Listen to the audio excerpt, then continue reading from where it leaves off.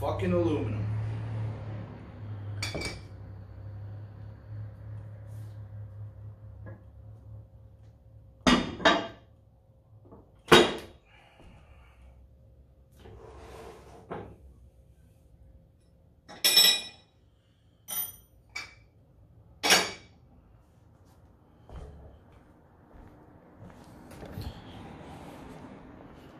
Never send aluminum to do steel's job.